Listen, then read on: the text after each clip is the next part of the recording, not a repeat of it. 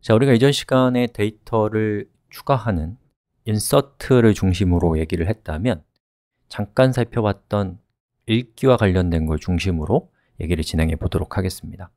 자, 데이터를 추가, 그리고 수정, 삭제는 명령이 아주 심플해요. 근데 읽기는 아주 복잡해질 수 있습니다. 하지만 기본적으로는 단순하니까 살펴보죠.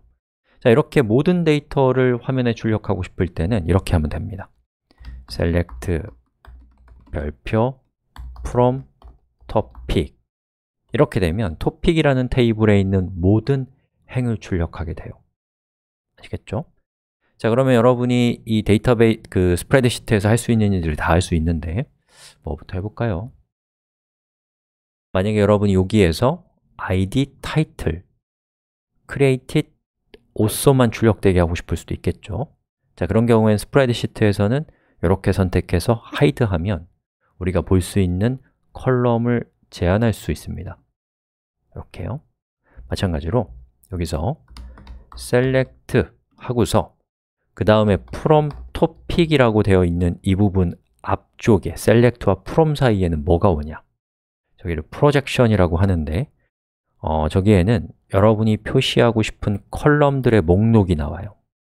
그래서 지금 제가, 저는 id 그리고 여기에 뭐가 있나요? title 자, 그 다음에 created. also.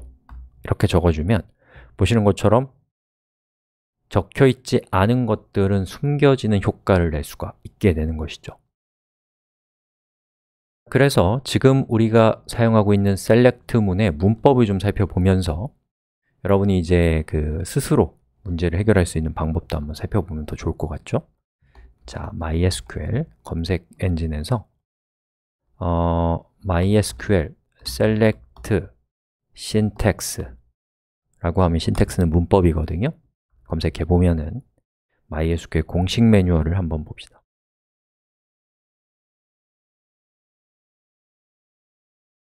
음, select syntax라고 되어 있는 부분. 엄청나게 복잡한 게 나올 거예요 자, 여기서. 처음에 select가 나오고요.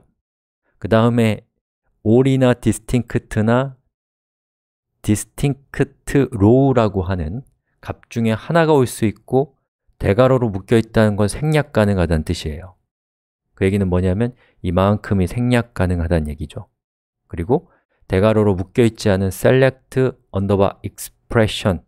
아마 expression일 거예요.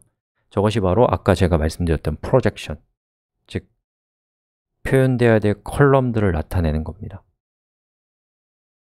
그래서 조금 이상하지만 select 여기에 select egoing 이렇게 하고 이렇게 하면 어떻게 돼요? 이렇게 된단 말이에요.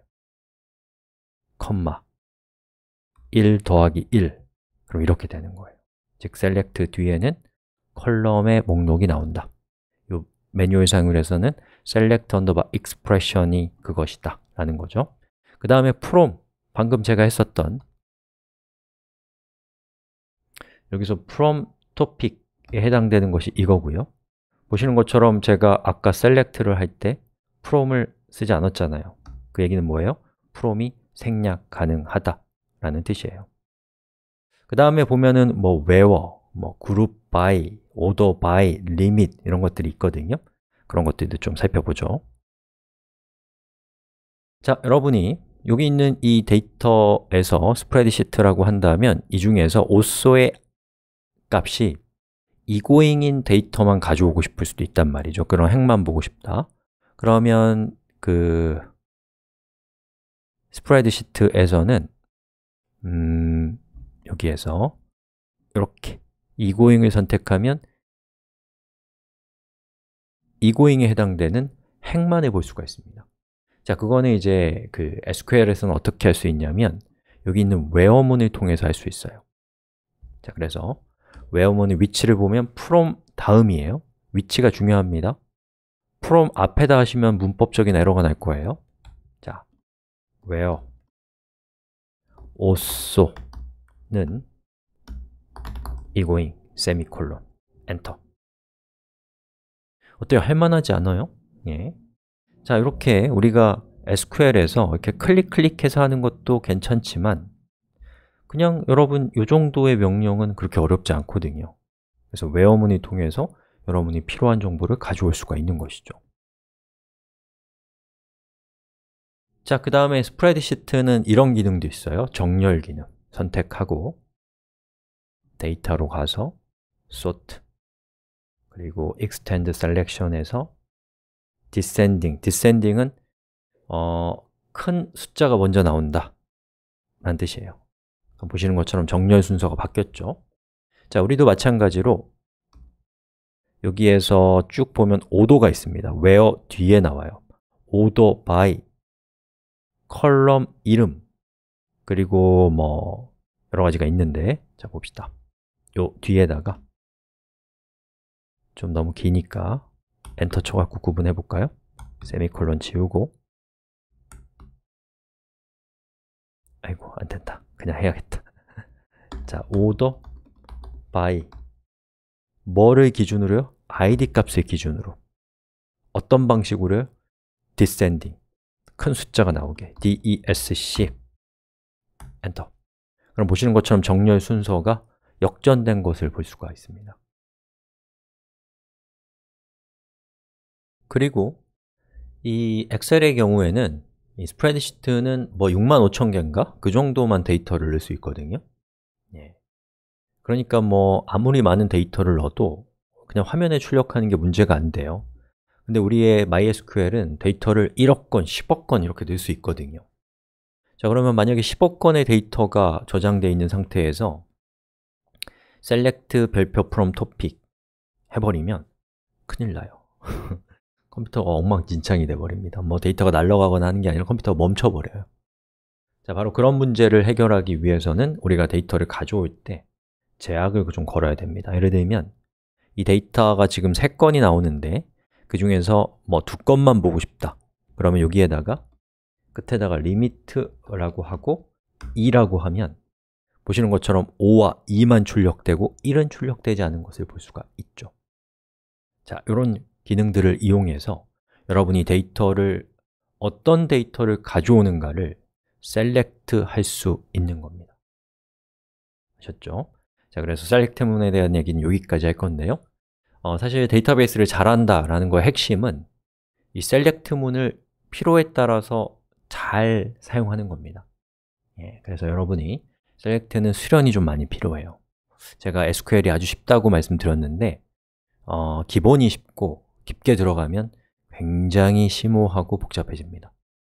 하지만 어쨌든 뭐든지 이 간단한 거에서 출발하는 거니까 지금 우리가 배운 여기에 가장 혁명적인 얘기였습니다.